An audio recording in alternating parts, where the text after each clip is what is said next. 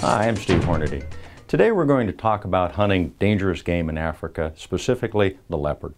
The leopard isn't the largest of the, of the dangerous game by far.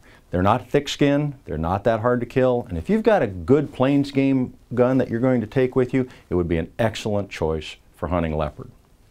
You're probably going to be hunting leopard from a blind, and you're only going to get one shot. So you'll have a good rest. You want a rifle that is accurate and that you can easily control in order to make sure you can put that bullet exactly where it needs to go.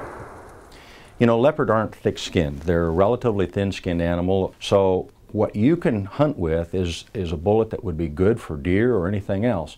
Excellent choices from us will be our GMX, our SST, or our Spire Point in the caliber that you're comfortable using.